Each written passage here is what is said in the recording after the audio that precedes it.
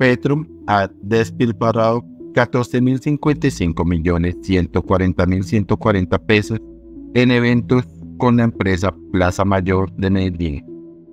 Sigue la danza de los millones. Bogotá, 29 de abril.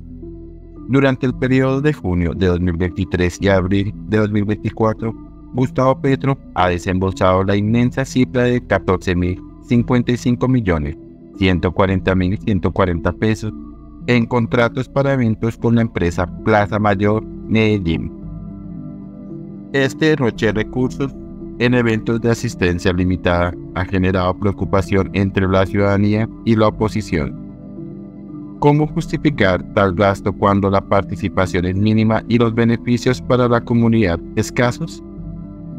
Con esos 14.055.140.140 destinados a eventos con Plaza Mayor Medellín, podrían otorgarse subsidios a más de 60.000 personas de la tercera edad, cada uno por un monto de 223.000 pesos. Esta revelación plantea preguntas cruciales sobre las prioridades del gobierno en materia de bienestar social. Es aún más impactante considerar que esta cantidad equivaldría a financiar 35 carreras universitarias en instituciones públicas cada mes.